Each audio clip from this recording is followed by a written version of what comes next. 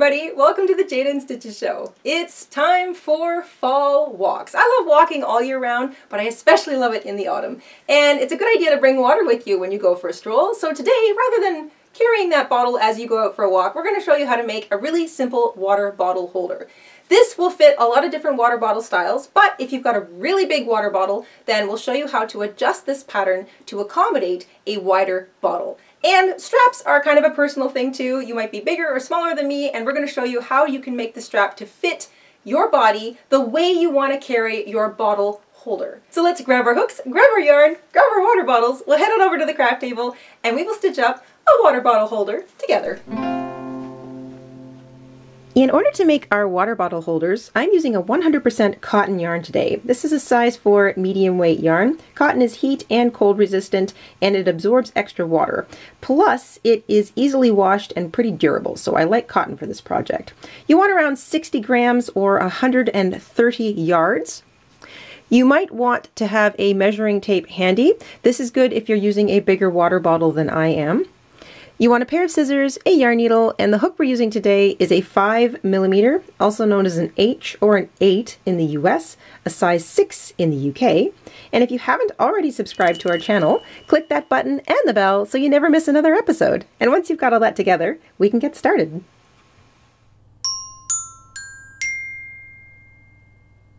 Please visit our shop and purchase a pattern. It helps support our show, and we'll put a link to our shop in the description box down below.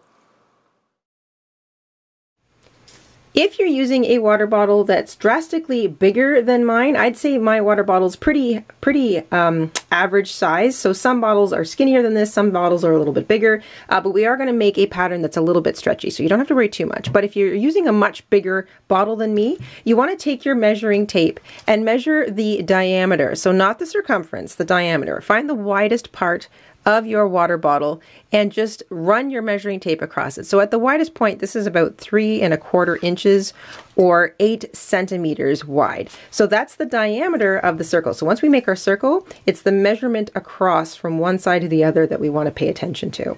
So I'm going to be making a base circle that's eight centimeters across in diameter, and that will be the bottom of this water bottle holder. So if you have a much wider water bottle, you're going to want to make it a little bit bigger. We are going to begin at the bottom of our water bottle holder. So we're going to start with a cinch circle.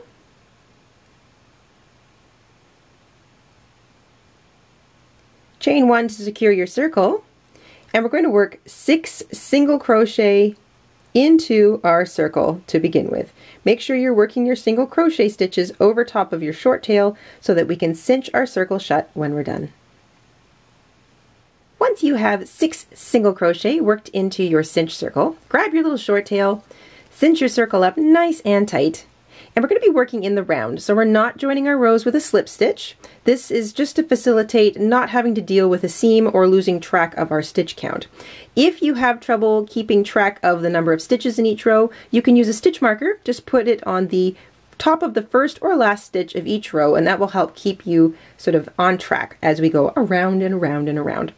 Row two, we're going to increase. We're going to work two single crochet into each stitch all the way around. That first stitch is sometimes kind of tight. I'm going to work over top of my short tails to weave them in. So two single crochet into each stitch all the way around. At the end of row two, you'll have 12 stitches.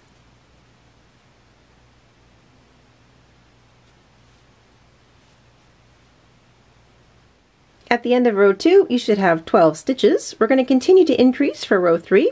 The pattern will be two single crochet worked into the first stitch. There's a little bit of my short tail still hanging out there. And one single crochet worked into the stitch after that. So two, one, two, one, repeated six times in total all the way around. You'll have 18 stitches at the end of row 3.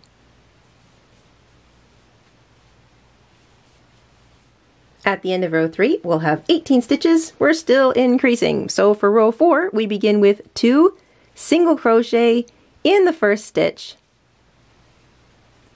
and a single crochet into each of the next two stitches.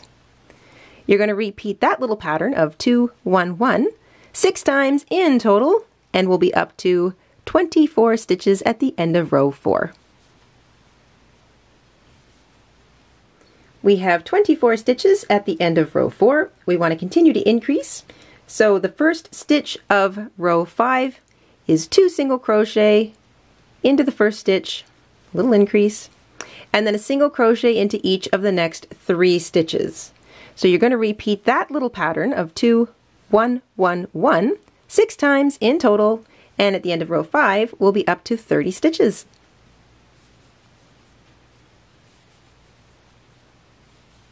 We've got a nice little circle forming here. That was the end of row 5. You should have 30 stitches. We're going to continue increasing for row 6 and you should sort of see the pattern by now.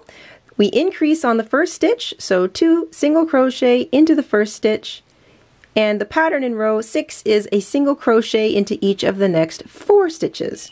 So you repeat the pattern two, one, one, one, one, six times in total, and that brings us up to a stitch count of 36 at the end of row 6.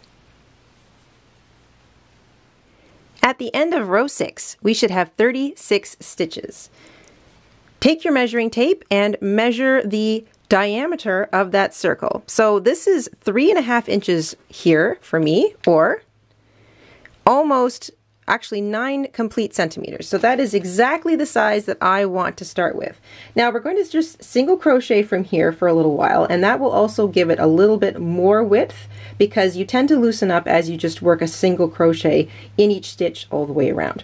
If your water bottle is a lot bigger and you need a wider base diameter to begin with, then you can continue the increase pattern. So row 7 would be 2 single crochet into the first stitch, followed by a single crochet into each of the next 5 stitches, repeated 6 times. Row 8 would be 2 single crochet into the first stitch, followed by a single crochet into each of the next 6 stitches, repeated 6 times, and so on and so on. As you increase, your each row will increase by an additional six stitches. So if you need to make a wider base, you can go ahead and do that. The rest of the pattern will not change for you. You'll just have a larger stitch count. But for those of us that are going to stick with a stitch count of, of 36 and, and a diameter of three and a half inches or nine centimeters across, all we want to do now is single crochet in each stitch all the way around for four rows. So four rows of just straight single crochet. You can kind of relax now, turn your brain off for a little bit, and I'll catch up with you at the end of four more rows. At the end of row 10, so you've done four more rows of just straight single crochet, just continue to single crochet until your last stitch lines up with that little bump. See where row 1 turns into row 2, that little bump right there. Just make sure your last stitch lines up with that. That way you know you've got 10 even rows of single crochet all the way around. So we've got a bit of a bowl shape happening here and if yours is wider then that's fine because we're going to stitch switch now to a double crochet V-stitch which is going to give us even more flexibility so that um, depending on the water bottle you sort of slip into this thing.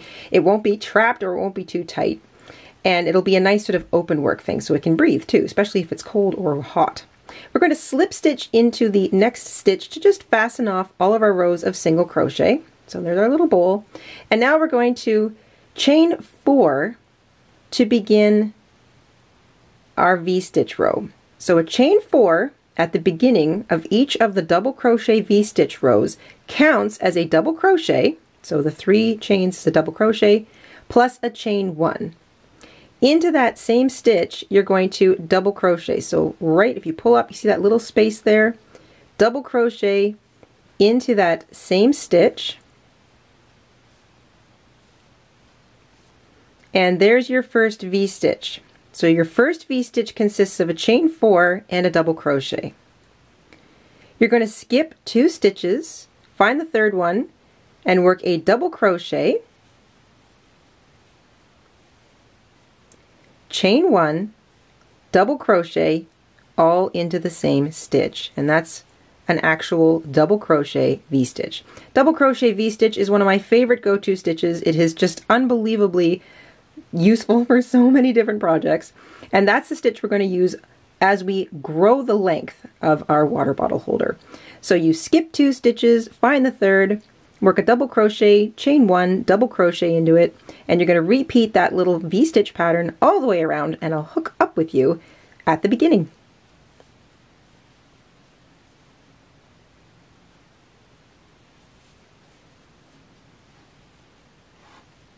At the end of our first row of V-stitch, which is row 11 of the pattern, you work your last V-stitch, you will have 12, and you're going to skip over those last two stitches, ignore this false stitch down here, just find the top of the chain three. So remember we did four chains, but you want to leave one chain. Find the third chain and join with a slip stitch to it.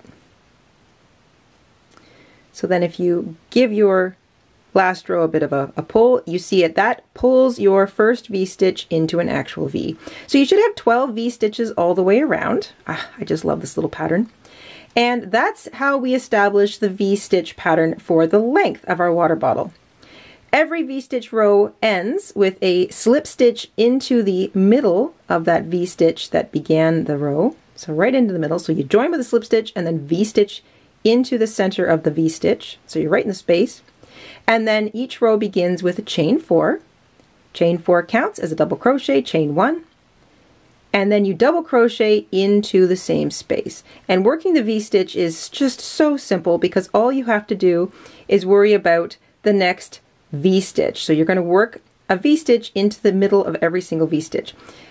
Don't be confused by the upside, so the triangle shape. So you've got two triangle shapes. You've got the V-stitch triangle, so it's sort of like it's on its point, and then you've got the, the triangles in between where the point is kind of at the top. You want to skip the big spaces, identify that you're looking at a V-stitch, and that's where you want to work your V-stitch. So double crochet, chain one, double crochet, into the middle of every single V-stitch. You should still have 12. You'll have 12 V-stitches in every single row. I'll catch up with you at the end of this row.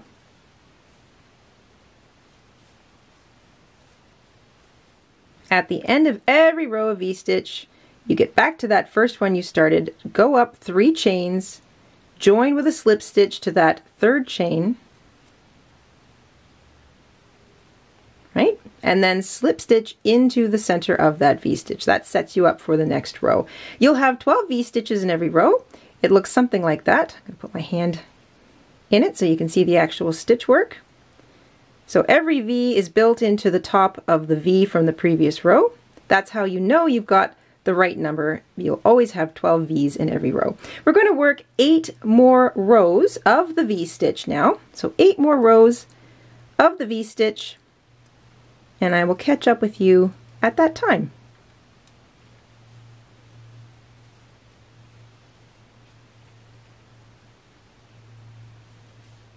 At the end of row 20, you should have 10 rows of the V-stitch pattern, and you can count it by just counting up the little V's all in a row.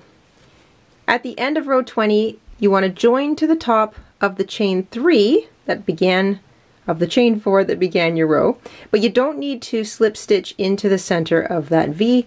We are going to switch back now to single crochet. We want to do two rows of single crochet just to finish off the top and give it a little bit of strength. So we're going to chain one from where we are and single crochet into that same chain that we joined in.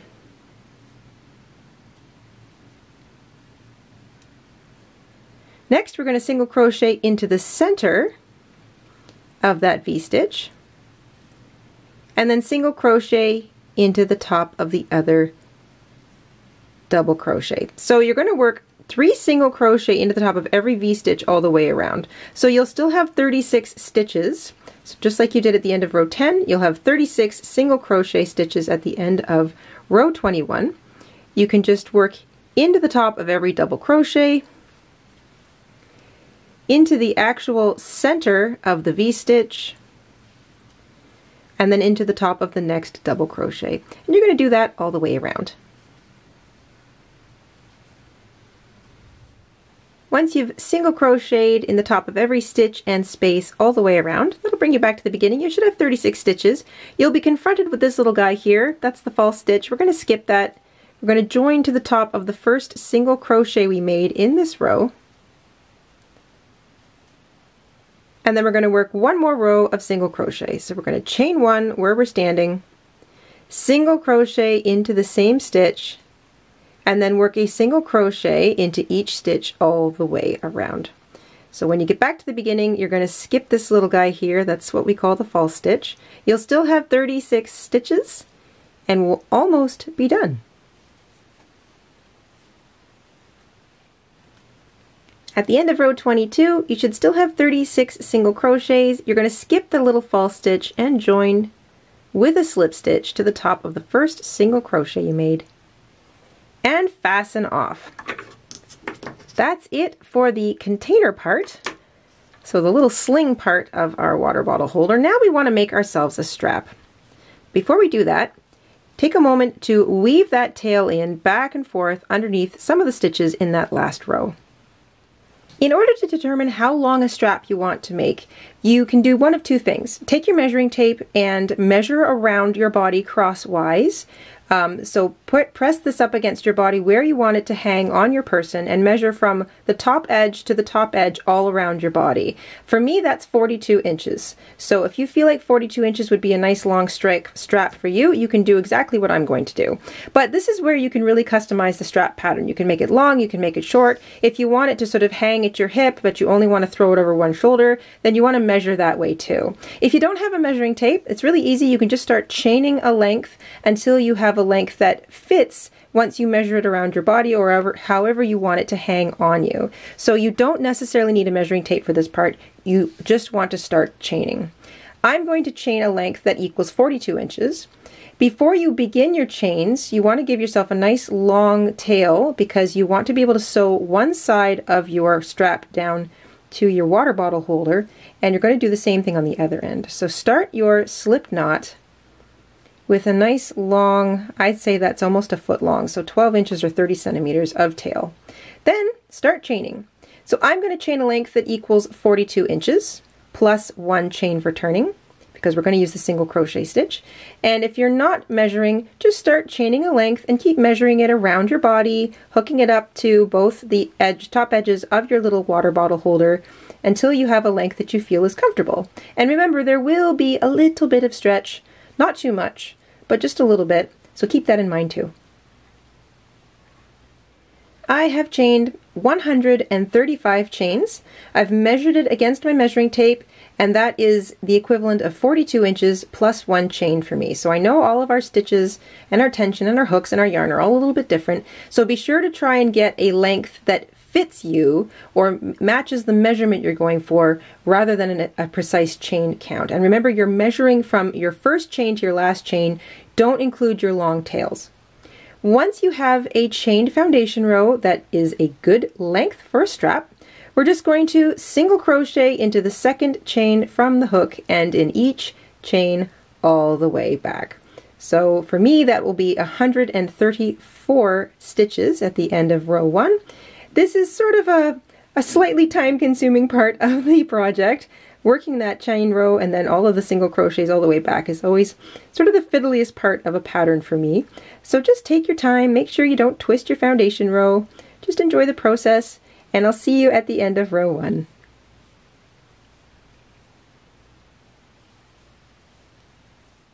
At the end of my first row of the strap, I've got 134 single crochet.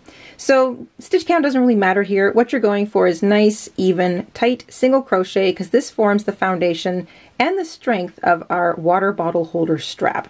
We're going to do four rows in total of single crochet. In the future, if you were to make this again, you could skip this um, chain and single crochet row just by doing the single crochet foundation row. So you already have a good idea of how many stitches you need. So you could just sort of use the shortcut of the single crochet foundation row in the future if you make this again. Chain one and turn at the end of every row you want four rows of single crochet in total. You're going to work a single crochet into every single stitch all the way across. And when you finish your fourth row, you will be on the opposite side of your tail. So you see me sort of fiddling with my long tail that we started with. This is for sewing this end and at the end of row four you should be on the opposite end and we're going to leave a nice long tail there too.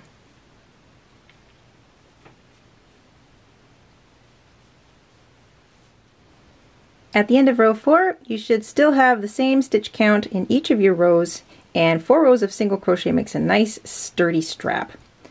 You're on the opposite side now of the short tail, or the long short tail that you started with. Snip yourself an equally long tail. I'm using about 30 centimeters or 12 inches here, just so I've got enough to make sure that it's sewn down to my water bottle holder nice and sturdy. Fasten off, make sure that knot is nice and tight. You should have a long tail for sewing now on both ends of your strap. Sewing your strap to your water bottle holder is pretty easy. You're just going to thread up the long tail in your yarn needle, grab the edge of your strap and the edge of your water bottle holder, and just sew through the top stitches of the water bottle holder and the edge of all the stitches along your strap. You're going to want to sew back and forth a couple times just to make sure that it's on there nice and snug and it doesn't want to come off.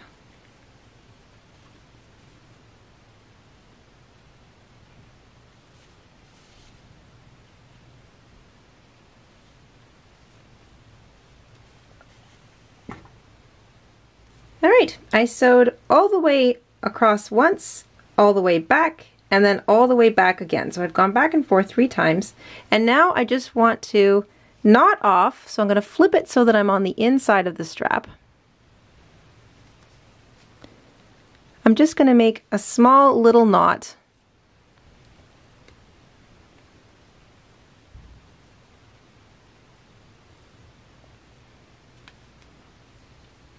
Nothing fancy. And then I'm going to weave that tail back and forth in across the backs of the stitches of the last row of single crochet in the water bottle holder. So back and forth underneath those stitches until the whole tail is woven in and that way I know it's not going to come undone.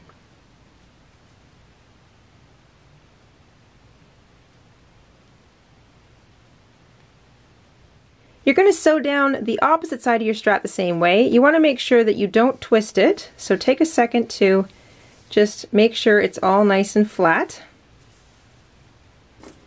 Thread up that long tail with your yarn needle. And then sew it to the exact opposite side of your water bottle holder from the first set. So if you have to sort of flatten your water bottle holder in half, and then just place your strap down on the opposite set of stitches, then that's the way to do it. And you just sew it down exactly the same way as the first side.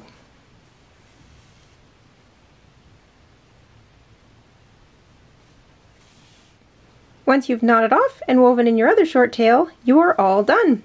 One water bottle holder with an attached strap, and now you're all ready to hit the trails. And there you go. Now you're all ready to head out for a walk in the woods or wherever it is you want to go for a walk. And remember, you don't have to completely pull your water bottle out of its holder if you need to take a sip. You can just sort of scoosh it down a little bit, take a sip, and then whoop, back into its little holder. And if you're wearing it crossbody with a slightly longer strap, you don't even need to take it off. You can just sort of like pick it up, pull down on the holder a little bit, take a little sip of your water, and then off you go. You don't even have to break your stride. We hope you enjoyed making this water bottle holder along with us today, and we will see you soon here on the Jayda InStitches Show. Until then, stay safe, stay crafty, and have a wonderful week, everybody. Bye! Hi, everyone. This is Mama in Stitches. Thank you for watching. Here are a few other videos you might enjoy. Don't forget to subscribe, and you can also click the like button and the bell. Thank you. Have a wonderful day.